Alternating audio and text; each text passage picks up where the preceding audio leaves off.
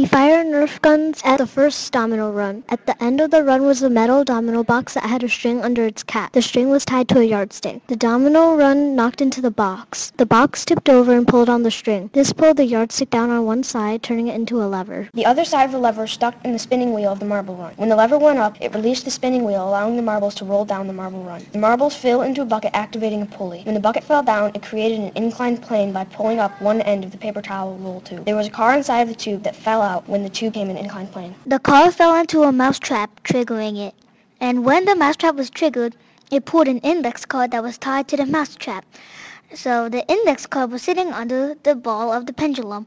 But when the index card was pulled, the pendulum fell off the tripod and knocked into the second domino run. At the end of the second domino run was a plastic box filled with paper clips and magnets. The box was sitting on top of a piece of string. The string was attached to a pulley with a Barbie hanging at the other end. The Barbie had her hands tied together over her head with a nail in between them, and she was hanging in the air over top of a balloon. The balloon was sitting inside a box so that it would not move around. When the wooden box was knocked over by the dominoes, the string was released, activating the pulley. The Barbie fell down and the nail popped the balloon.